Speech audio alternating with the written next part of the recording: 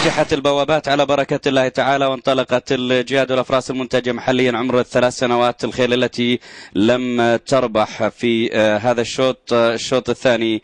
من علامة ال 1600 متر وكما نشاهد الآن أكاديمي في المركز الأول مع محاولات من نديم الملوك في المركز الثاني والتقدم لأكاديمي ابن جج تي سي لأبناء الأمير محمد مسعود الكبير في مقدمة الجهاد في هذا الشوط بفارق طول تقريبا عن نديم الملوك رقم ثمانية. لمتعب بن زيد الشمري مع محاولات الآن من البقية بقية الجهاد المشاركة في هذا الشوط للتقدم تقدم تأخر أيضا للبعض في هذا الشوط وتبادل المراكز في هذه اللحظات. وأشاهد ردام الآن يحاول مع محاولات أيضا تأتي من أربعة جاكم من الخارج للدخول في هذا الشوط مع محاولات من نديم الملوك في المركز الثاني والحفاظ على المركز الثاني إنما أكاديمي في المركز الأول بكل قوة بكل اقتدار مع الاقتراب من المنعطف الأخير في هذا الشوط شوطنا الثاني في هذا الحفل السابع عشر. وأكاديمي يحاول بقيادة شانينغ هيل في المركز الأول المنعطف الأخير. وبداية الخط المستقيم